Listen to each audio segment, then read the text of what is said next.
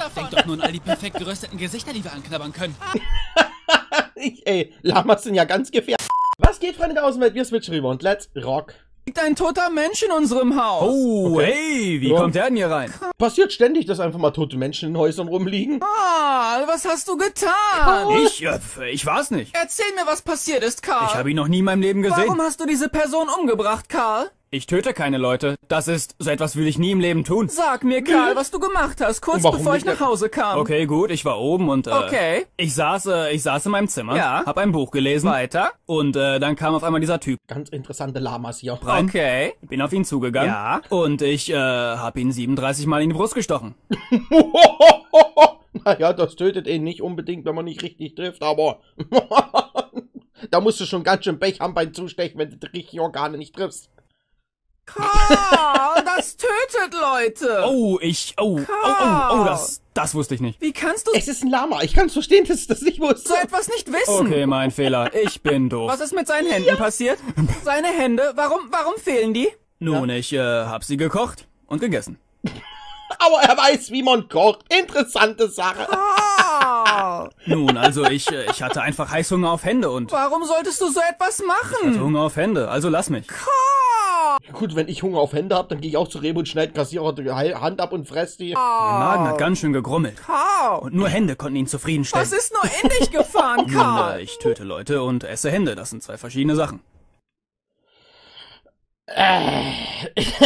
Na gut, kann man so mitnehmen.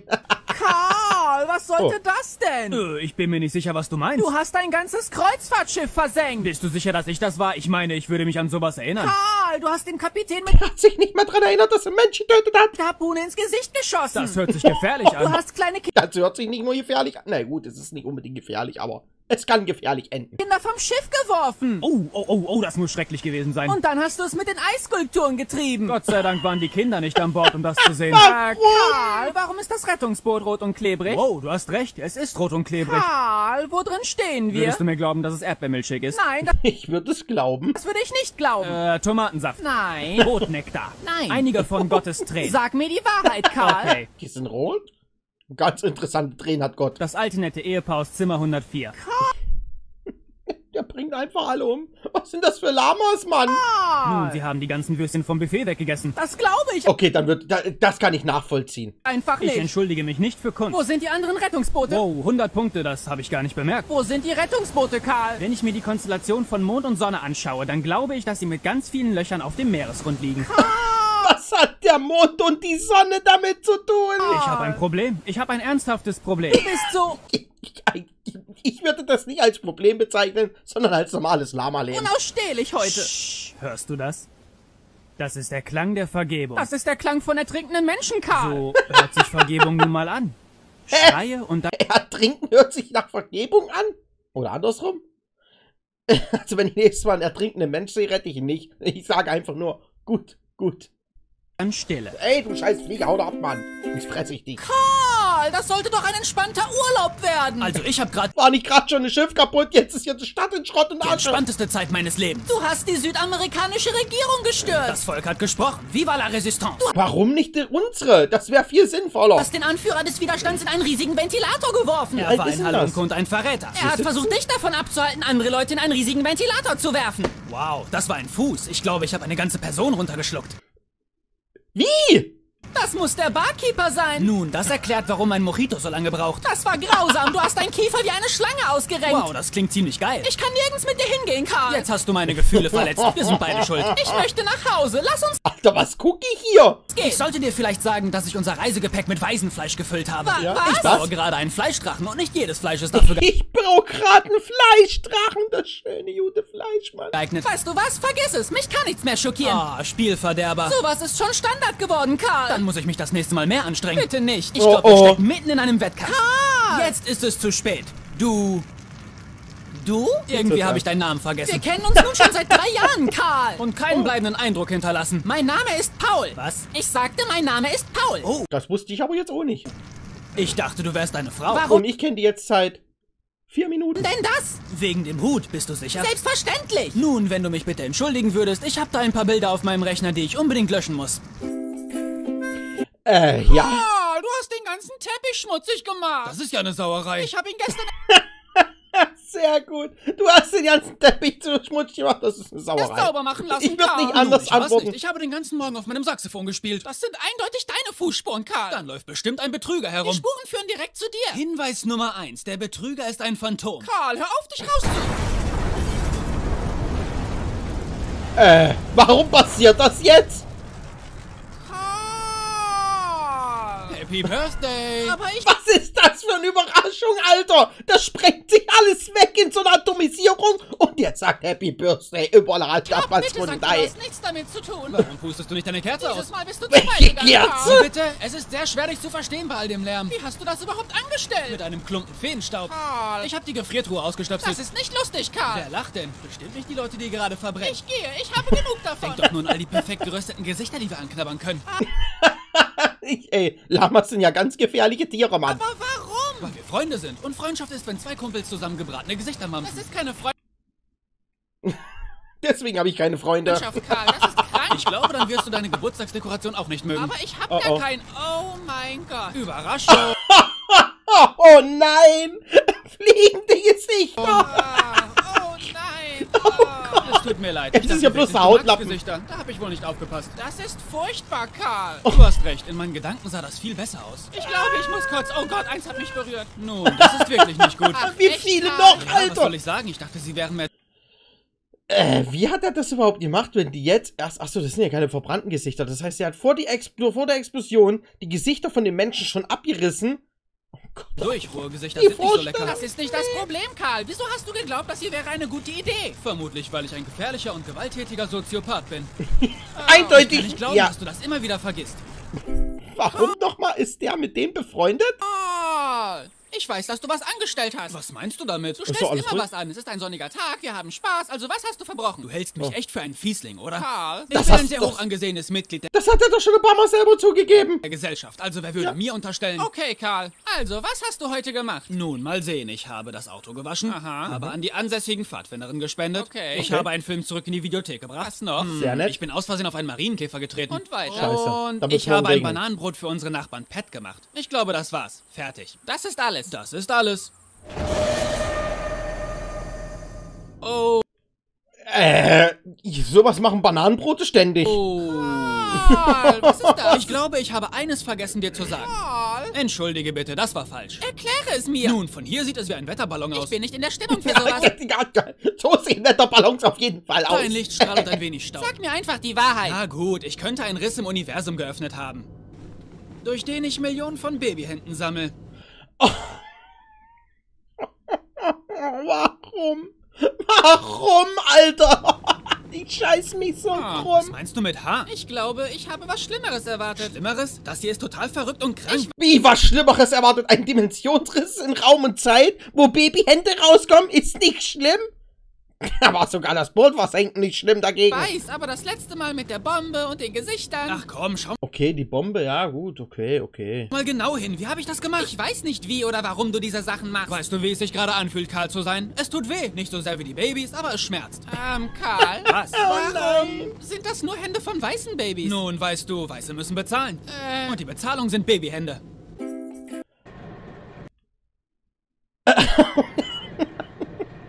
Nein, nein, nein, nein, nein, nein. Sagst du ihn nicht mehr? Was denn, Karl? Mein Name. Genervt und angewidert. Ich gehe, Karl. Was? Ich verlasse dich. Es ist das Fleischfließband, oder? Du warst nie ein großer Fan von modernen Wohnen. Es hat viele Gründe, Karl. Lass es mich erklären. Soll die mit den roten Hut oder der mit eine Frau darstellen, die Paul, das Paul heißt? Gibt es Frauen, die Paul heißen? Effizienz, Industrie. Noch nie wurden so viele tote Körper gleichzeitig verarbeitet. Karl. Also effizienter geht es kaum. Solange es keine Menschen ich werde sind? nicht wieder. Vor allem, warum in einem normalen Haus? Das sieht aus wie ein stinknormales Haus. Komm, aber ich habe dir noch gar nicht von der großen Überraschung erzählt. Ich bin sicher, sie ist widerlich. Jetzt will ich sie dir gar nicht mehr zeigen. Klasse, ich will sie gar nicht sehen. Mann, du bist gerade ein ziemliches A-Loch. Ich bin nicht derjenige, der Leute in einen riesigen nett. Fleischwolf steckt. Es ist kein Fleischwolf, es ist ein Waisenstampfer. Ekelhaft. Weißt du, was ekelhaft ist? Dein Verhalten. Meinst du das ernst? Was habe ich getan, dass du mich so verbal fertig machst? Es ist alles, Karl. Alles, was du jemals gemacht hast. Alles? Auch als ich Mrs. Bixby mit ihrem Garten geholfen habe? Du hast sie dort begraben. Das hätte sie bestimmt gewollt. Gut, es war Hilfe, sie zu beerdigen. Kann man so mitnehmen. begraben. Sie kam mit der Ernte nicht nach und als Vorsitzender des Nachbarschaftsrates musste ich halt eingreifen. nicht. Ich will niemals einen Garten haben. Alles, was du machst, ist Leute töten. Dann hätte Mozart ja auch nur Lieder geschrieben. Du bist komplett wahnsinnig. Seltsam, das haben die Waisenkinder auch gesagt. Oh, what the f... Oh, das ist ein Ist das die Fleischdrache. Überraschung? Nein, Das sieht wie ein Fleischdrache aus. Hast du deinen Fleischdrachen nun fertig, Karl? vielleicht. Interessante Sache, dass der lebt und gefährlich sein soll. Das ist grauenvoll, vielleicht, Karl. ich weiß es nicht. Dankeschön. Sehr gute Überraschung, Alter. Sehr gute. Wer, Warum ich? steht an der Hand? Okay, worauf willst du hinaus?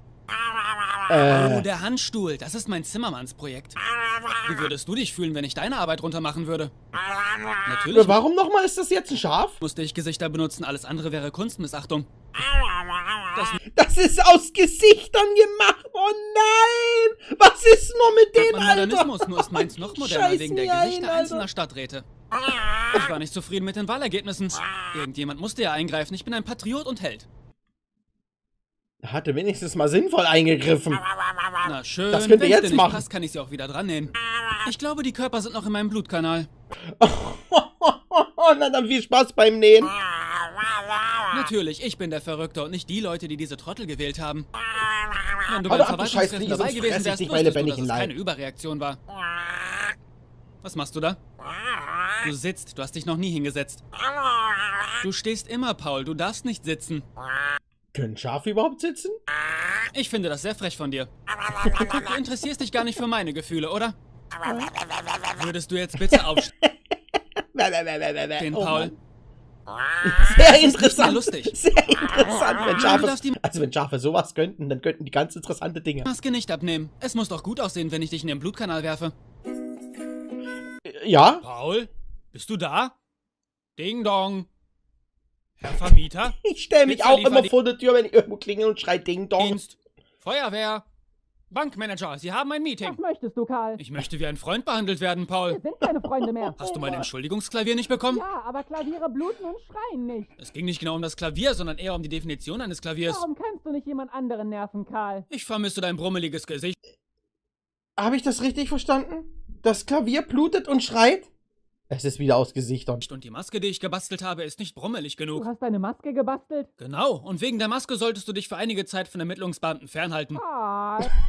Oh nein! In einigen Kreisen bist du nun als Nikolai Spanikow bekannt, Anführer des russischen Opiumkartells. Geh nach Hause, Karl. Ich rufe die Polizei. Das ist keine gute Idee, Nikolai. Du weißt, kein Gefängnis kann mich aufhalten. Es klingelt. Aber ich kann sonst nirgendwo hin. Ich habe mein Haus. Junge, der versenkt Schiffe, jagt ganze Städte in die Luft, reißt Menschen Gesichter ab. Ich kann mir vorstellen, dass kein Gefängnis den aufhalten kann. niedergebrannt, als ich genügend Schwäne drin hatte. Und mein ganzes Gespartes ging für diese Schwäne drauf. Ja, und wer ist dafür verantwortlich, Karl? Die Gesellschaft. Die Gesellschaft und die Schwäne. Bitte. Die Schwäne. Ich habe es wirklich versucht, aber ich, ich kann das einfach nicht mehr. Okay, was ist, wenn ich dir 10 Millionen Dollar Du gebe? hast aber keine 10 Millionen Dollar, Karl. Ich habe eine Kiste mit all den alten Ballons versteckt. Die könnte ich ausgraben. Nein, Karl. Es waren Und wie kommt man dadurch an 10 Millionen? entweder die Ballons oder die Zoobücher. Irgendwas ist auf jeden Fall dort vergraben. Ich mache jetzt ein wenig Oh, oh. Musik an, Karl. Ich höre dich nicht mehr. Gemein. Tut mir leid, mein fleischiges Ich ist sehr undankbar, Karl. Und nach all dem, was wir durchgemacht haben, ist es mehr als empörend. Du machst all diese wundervollen Sachen und verdienst mehr Anerkennung. Ist okay, das wird schon. Sobald das Schwanenklavier ankommt. Und die Schwäne leben noch. oh nein! Gern Reiß geschehen. mich ein! Karl, das glaube ich jetzt einfach nicht. Oh oh, was habe ich jetzt schon wieder gemacht? Du hast jemanden getötet und dann zerstückelt. Seine Teile liegen noch auf dem Boden rum. Also, Gut, das ist mittlerweile schon Standard bei Karl. Da muss man sich jetzt echt nicht mehr wundern. Nach acht Folgen. Sieben. Wir sind ja jetzt bei acht. ich weiß nicht. Warum glaubst du, Ja, ist acht. warum glaubst du, dass ich so etwas machen würde? Karl, all das Blut und die Stückchen. Du, du Mörder. Ich glaube, ich würde mich erinnern, wenn ich jemanden in Stücke schneide und die ganzen Sachen auf dem Boden verteile. Ich glaube langsam nicht mehr. Das ist eine Sache, die ich normalerweise nicht vergesse. Karl. Und was war voll mit den ersten Toten im Haus? Was war mit den Schiff jetzt? Ach komm. Ich hasse dich, Karl. Ich hasse dich. Jetzt mal langsam. Das ist ganz schön verletzend, Paul. Ja, genau. Verletzend. Karl. Wer hat das gesagt? Jetzt wird's auch. Oha, jetzt wird's aber ernst. Ich war's, Karl. Paul? Ja, Karl. Du bist zurück? Du musst deine Arbeit vollenden, Karl. Vollenden? Es gibt so viel zu tun. Wir dürfen nicht Du rühren. hast gesagt, du kommst nicht zurück? Karl. Ja. Karl! Ich weiß nicht, was ich sagen soll. Was? Was hast du nun vor? Ah, kommt daher dieses Meme vom Walking Dead? Da heißt ja der eine auch Karl, der Junge. Und da gab es immer solche Memes, wo der sagt dann, dann irgendwas Blödes am Ende, der Vater mal Karl. Jetzt weiß ich, woher das kommt. Ein wenig Freestyle. Ich nehme die Dinge in letzter Zeit so, wie sie kommen. Du bist besser als das, Karl. Du kannst das besser. Also, ich schätze schon. Du bist Karl. Ich bin Karl. Karl. Das bin ich. Karl. Du schreist gerne, oder? Oh Gott, jetzt wird's ernst. Oh nein, es wird noch ernster. Paul? Vor allem, wenn es schwarz anfängt. Ich kann absolut nichts sehen.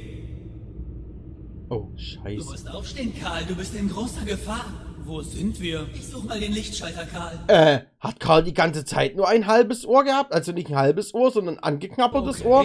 Ich glaube Ich kann mich nicht. gar nicht daran erinnern, wie ich hier hinkam. Du musst hier raus, Karl. Ja, auf jeden Fall. Oh, das ist meine Du Fleischgrube. bist tief gefallen, Karl. Ich glaube, mein Und dabei ist das Ohr kaputt gegangen? Bein gebrochen. Du Oh. bist in Gefahr. Du musst hier raus. Wie lange bin ich schon hier unten? Das fühlt sich wie eine Ewigkeit an. Deine Arbeit ist noch nicht getan. Es gibt noch so vieles zu tun. Ich glaube nicht, dass ich aufstehen kann. Du musst dich beeilen. Irgendetwas ist mit uns hier unten. Das ist Oh, oh. der Basilisk. Der tut uns nichts. Der Idiot frisst Nein, deswegen fehlt ein Stück Ohr. nämlich nur Chipotle. Es kommt näher. Warst du schon immer so gruselig, Paul? Ich suche uns mal ein Seil. Und bitte auch ein wenig Antibiotika. Ja, ich weiß. Ich bin schon ein lustiges Kerlchen. Paul, warst du das? Vielleicht war das auch mein Magen, der so gegrummelt hat. Hungrig nach Händen. Erinnerst du dich daran, Paul? Hungrig nach Händen. Oh nein. Da machst du nur Hände fressen. Oh, oh. Kein Glück mit dem Seil. Tut mir leid, Karl, aber du bist auf dich alleine gestellt. Na, das war ja klar. Oh, da guckt sogar Knochen raus, Alter. Das Das sehe ich funktioniert jetzt nämlich. Schau erst. dir meine Beine an. Na gut. Oh nein. Oh, hey, wie kommen denn all die Körper hierher? Du hast all diese Leute getötet, Karl. Menschliches Fleisch zusammen. So viel zum Thema, ich würde mich daran erinnern. mag ich eigentlich am wenigsten. Ich bin ein Schuft und ein Fiesling. Wo ich bin, gibt's halt immer Probleme. Ja, ja. Oh, oh. Holzbein. oh nein, das arme Bein. Ich glaub, das war's. Du musst deine Arbeit vollenden, Karl. Es gibt nichts Was zum Teufel ist da passiert? mehr zu vollenden. Es ist alles weg. Es reicht, Paul. Warum schreist du mich immer noch an? Du musst deine Arbeit vollenden, Karl. Alle Hände wurden gegessen, die Fleischkreaturen wurden erschaffen und dann auch gegessen. Voll dumm. Ja, das war sehr traurig. ja, Glaube ich einfach nicht, Karl. Fleischkreaturen. Ja, und nu? Die ganze du Welt dich an kaputt. den Blutstrudel in Paris? Ja, das war mein Liebling. Weißt du was? Ich glaube nicht, dass du der richtige Paul bist. Natürlich bin ich das, Karl. Du bist ein Fiesling und ein Lügner. Du musst deine Arbeit vollenden, Karl. Ich werde den echten Paul finden. Ja, Ich glaube, er wird über all die Sachen hier nicht sehr erfreut sein. Nein, Soweit. Erinnerst du dich definitiv noch an die. Nervenkugel, die all die Leute geschockt und an ihre Haut gefressen hat? Ja, Karl. Paul wird traurig sein, wenn er erfährt, dass ich dafür verantwortlich bin. Ich glaube, der wird nicht nur traurig sein, der wird im Dreieck springen und das in eine Viereck. fast geschafft, Karl. Wenn ich den richtigen Paul finde, wird er auf dich am meisten wütend sein. Identitätsdiebstahl ist eine Straftat. Aber längst nicht so schlimm, was... Ach Gott. Umschreien, auch eine Straftat. Paul. Ich glaube, da gibt's kein Mensch mehr oder Lama, Scha Lama oder Polizeischaf oder so, dass da irgendwelche Straftaten verfolgt. Die Welt ist im Arsch. Paul. Jetzt geht's los, Paul. Paul. Bist du Oh. zu Hause? Oh, die Tür ist kaputt. Direkt hier, Karl. Nein, bist du nicht. Du bist nicht Paul, du bist ein Betrüger. Hör auf. Du musst deine Arbeit vollenden, Karl. Welche Arbeit denn? Paul. Du hast es fast geschafft. Hände Karl. fressen. Komm jetzt rein, Paul. Es tut mir leid, dass es deine Privatsphäre stört, aber es ist wichtig. Paul.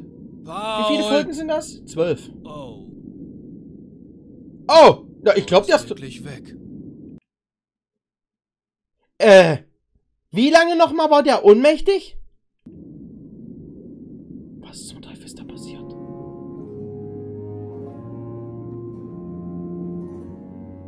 Oh, der echte Paul ist tot? Das kannst du nicht bringen!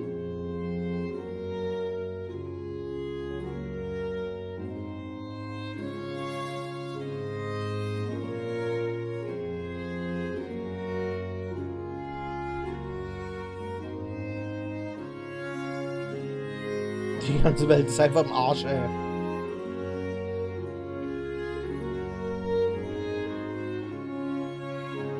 Ist das? Ein Blutstrudel da oben am Himmel?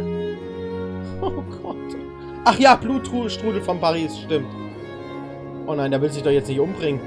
Karl! Oh, hey. Karl! Ich war's nicht. Karl! Oh Mann. Karl! Oh! Ja, und wie kann es dann noch eine zwölfte Folge geben? Oder sind wir schon bei der zwölften?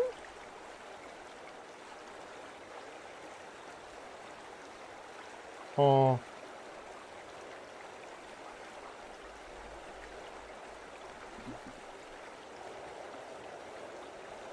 Das war's?